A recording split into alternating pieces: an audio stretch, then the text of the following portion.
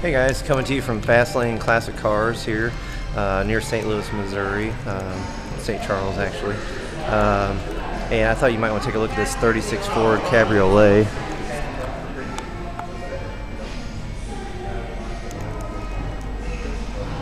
And uh, let's look at slick. There's your Greyhound hood ornament. Factory pinstriping. There's the stats on it.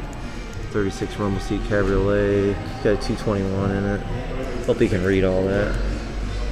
And take a look at the inside here. Dashboard's looking pretty cool. That's neat. And the banjo style steering wheel like that.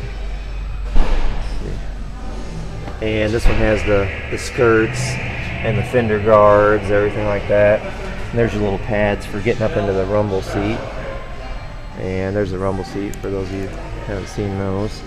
And it's got the spare tire carrier back here on the back. See if I can get a view down the back side here. It's actually the 36 Ford is my favorite uh, body style of the old Fords. And uh, it's hard to come by these cabriolets in this kind of shape.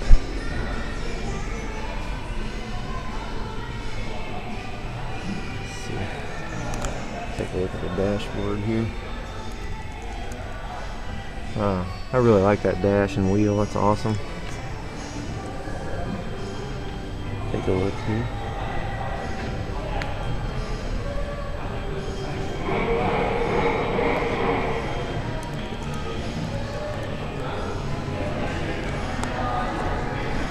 Alright guys, so that's a 36 Ford two-door cabriolet convertible and uh, I just thought you might want to take a look at it. I'm going to look around and see what else they have. I'll see you later. Bye.